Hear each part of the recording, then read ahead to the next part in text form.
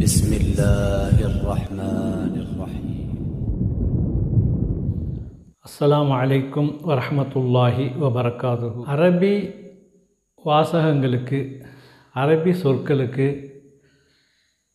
நேராக அரபி சொற்களுக்கு ஏதுவாக தமிழ் சொற்கள் தமிழ் பதங்களை நாம் கொண்டு வரலாம் என்று நாம் முன்னர் கூறியிருக்கின்றோம் மொத்தமாக பார்க்கும் பொழுது அரபி எழுத்துடைய பதினேழு எழுத்து மட்டும் அதாவது பதினாறு எழுத்து மட்டுமே தமிழுக்கு போதுமானது.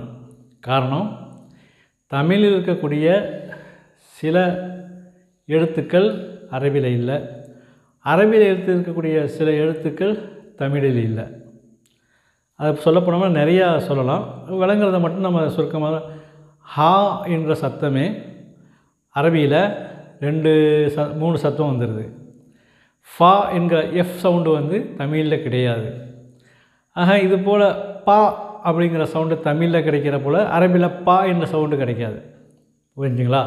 அதனால் எது எதெல்லாம் தமிழுக்கு இலகுவாக அரபி வருமோ அப்படி பார்க்க போகும் பொழுது அந்த வார்த்தைகள் நம்ம எடுக்கணும்னு சொன்னோம்னா கிட்டத்தட்ட ஒரு பதினேழு எழுத்துக்கள் எடுத்துக்கிட்டு பதினேழு எழுத்துகளும் பத் பத்து சத்தங்கள் மீது நம்ம பார்க்கணும் சொல்லும்போது நூற்றி எழுபது எழுத்துக்களுக்குள்ளே நம்ம என்ன செய்யலாம்? தமிழை எழுத முடியும் அப்படிங்கிறது நமக்கு தெரிய வருது. அந்த வகையில் ஒரு சிறு வார்த்தைகள் சின்ன சின்ன வார்த்தைகள் நம்ம சொன்னோம். மூணு வா மூணு எழுத்து உள்ளது மூணு எழுத்து ஷார்ட் லெட்டர் உள்ளது அதாவது குறியெழுப்பு உள்ளது நம்ம முன்னால் பார்த்துருக்குறோம். இதில் இப்போ மூன்று எழுத்தை விட அதிகமாக உள்ளது. தமிழ் எழுத்தில் என்ன இருக்குது எதை நம்ம கொண்டு வர முடியும் அப்படிங்கிறத ஒரு ரெண்டு மூணு உதாரணங்களை மட்டும் நம்ம சொல்கிறோம் அதில் எப்படி எப்படிலாம் கொண்டு வரலாம் அப்படிங்கிறதையும் நம்ம சொல்கிறோம் இதுக்கு மேலேயும் நம்ம எழுத்துக்களை நம்ம கொண்டு கொண்டு வர முடியும். ஒரு பெரிய ஒரு பேராகிராஃபையை தமிழில் எழுதி அப்படியே அரபியில் நம்மளால் கொண்டு வர முடியும். அது எப்படி அப்படிங்கிறத நம்ம நமக்கு ஒரு சின்ன எழுத்தை நம்ம கோடிட்டு காட்டிட்டாக்கா நீங்களே கூட செய்ய முடியும் அப்படிங்கிறத மனசில் வச்சுங்க. இப்போ பாடத்தில் பார்க்க போகும்பொழுது வழக்கம் நம்ம என்ன செய்கிறோம் காவிரி நதின்னு பார்க்கணும். காவிரி நதி. பாருங்கள் காவிரி நதி அப்படின்னு இருக்கா? அது எப்படி என்ன செய்யலாம்? கா வி ரி காவிரி நதி நதி நதி காவிரி நதி. அப்போ ஒரு அஞ்சு எழுத்துகள் உள்ள ஒரு வா வார்த்தையை தமிழில் எழுதுகிறோம் இதுக்கு முன்னால் நம்ம என்ன சொல்கிறோம் அல்லாஹுவின் உதவியால் அப்படிங்கிற ஒரு வார்த்தையை பெரிய வார்த்தையை எடுத்துக்கிறோம். அல்லாஹுவின் உதவியால். அல்லாஹுங்கிற வார்த்தை நமக்கு தெரியும் அல்லாஹுன்னு எழுதிடுவோம். இந்த வின் அப்படிங்கிறதுக்கு வி இன் அல்லாஹுவின் உதவியால். உ. ஒன்றுக்கு நேராக உ. த. ரெண்டுக்கு நேராக த. வி. யா. இல் உதவியால். இப்படி அல்லாஹுவின் உதவியால் நம்ம தமிழில் எழுதுறத அரபியில் எழுதலாம். அரபியில் எழுதும்பொழுது வலப்பக்கமாக எழுதணும். அதனால் இது மாற்றமாக இருக்கக்கூடாது அப்படிங்கிறதுக்கு அல்லாஹுக்கு நேரம் அல்லாஹ் போட்டிருக்கும் உதவிக்கு நேரம் உதவியால் போட்டிருக்கோம். இப்போ ஒரு சின்ன உதாரணம் தான் எழுதலாம் இது போல பெரிய பெரிய வார்த்தைகள் எழுதலாங்கிறது. அடுத்த ஒரு உதாரணம். மாமனார். ஒரு மாமனார் எப்படி எழுதலாம்? மா ம நா மாமனார். விவசாயம்.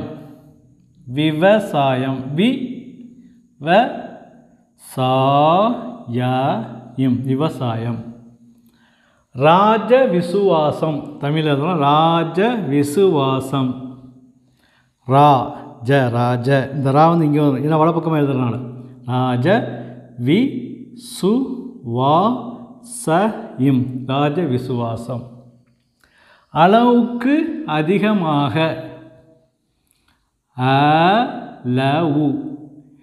இக்கு நமக்கு தெரியும். சத்துடைய எழுத்து நம்ம ரெண்டு எழுத்துக்கள் இருக்கக்கூடிய இடத்துல சத்துடைய எழுத்தை பயன்படுத்தலாம். அளவுக்கு அதிகமாக. அதிகமாக. உதாரணமாக நம்ம தமிழில் அதிகமாக்கன்னு எழுதுகிறோம் நம்ம வார்த்தைகள் எப்படி உச்சரிக்க போகிறோம் ஹன் தான் உச்சரிக்க போகிறோம் அதிகமாக. அப்போ ஹா உச்சரிச்சுக்கலாம். ஹா ஹா போட்டுக்கலாம். இது வந்து இலக்கண பிழையோ வேறு எந்த பிழையோ எழுத்து பிழையோ அல்ல. இது நம்ம விளங்குறதுக்காக எழுதலாம். இப்போ உதாரணமாக அளவுக்கு அதிகமாக்கன்னு நம்ம எழுதலாம். அதிகமாக்கன்னு படிப்பாங்க. அதனால் நம்ம எப்படி படிக்கிறோமோ அதுக்கு தகுந்த மாதிரி அரபியில் எழுதியிருக்கோம். அளவுக்கு அதிகமாக இந்த ஹ சவுண்ட் வரதுனால அதிகமாகன்னு போடுறோம். நல்லா ஞாபகம் வச்சுக்கணும். அடு அடுத்ததா. அரிசி விலை உயர்வு. அரிசி விலை உயர்வு.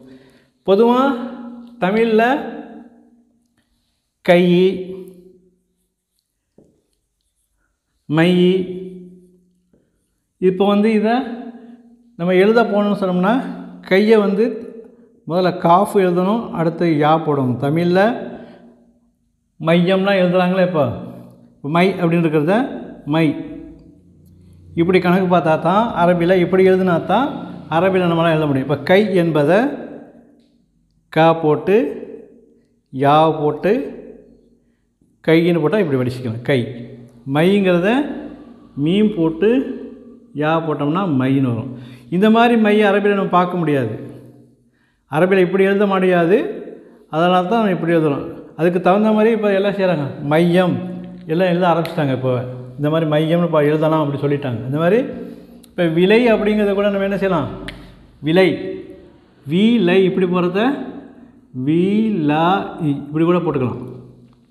வருங்காலத்தில் இப்படி தான் எழுதுவாங்கன்னு நினைக்கிறேன். இப்போ அரிசி விலை உயர்வுன்னு இருக்கா?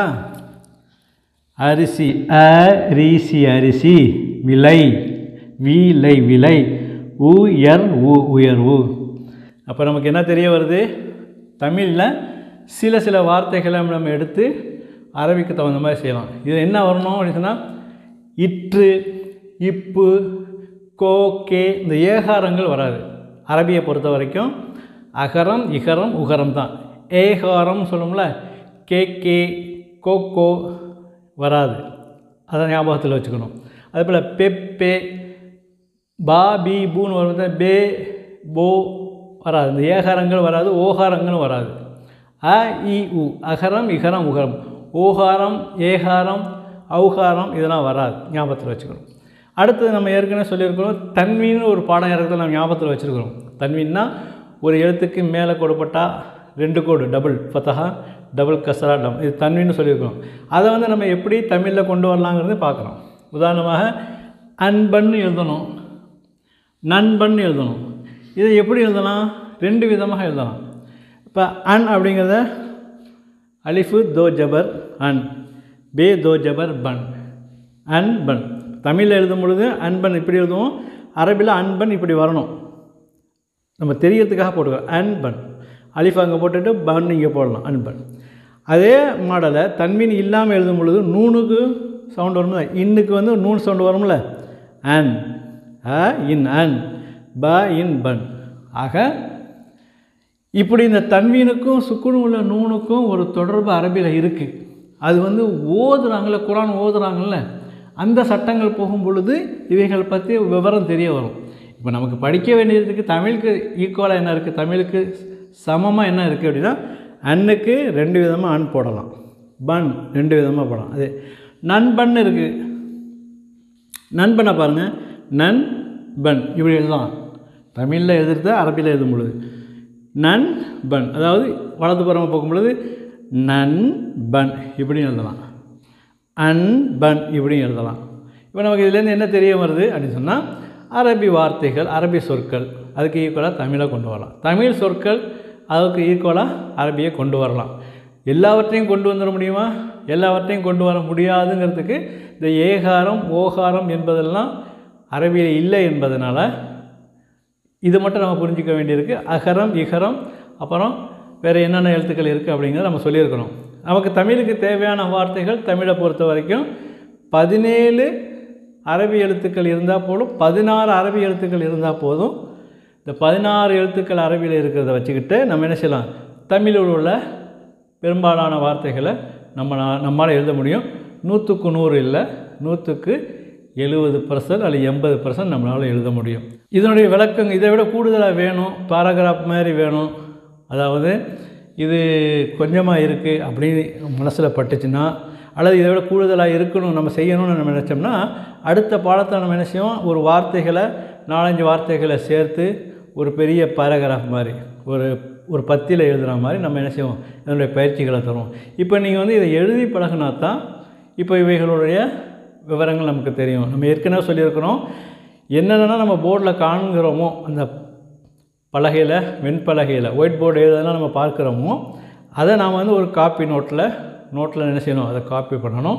அதை எழுதி அதை நம்ம பார்த்தோம்னா சொன்னால் தான் நமக்கு அதில் சந்தேகமும் சந்தேகங்கள் வரும். நம்ம கற்கக்கூடிய இது வரும். சும்மா வீடியோவில் பார்த்துட்டோம்னு சொன்னோம்னா அது மனசில் வருது அப்படின்னு நம்மளால் சொல்ல முடியாது. வீடியோவில் பார்க்குறது வந்து ஒரு ஒரு நாளைக்கு ரெண்டு நாளைக்கு தான் மனசில் இருக்கும். அதை நீங்கள் ஒரு காப்பி பண்ணி எடுத்துட்டிங்கன்னா உங்களுக்கு அது சந்தேகம் வரணும். சந்தேகமும் வரணும் சந்தேகம் கேட்கணும். அதுக்கு பிறகு உங்களுக்கு அது என்ன செய்யும்? அதனுடைய விவரங்கள் முழுக்க புரியும். அப்போ தான் நீங்கள் வந்து அரபிய அரபியை கற்றுக்கொள்ளக்கூடிய ஒரு கோட்டை தொட்டிருக்கீங்கன்னு சொல்ல முடியும்.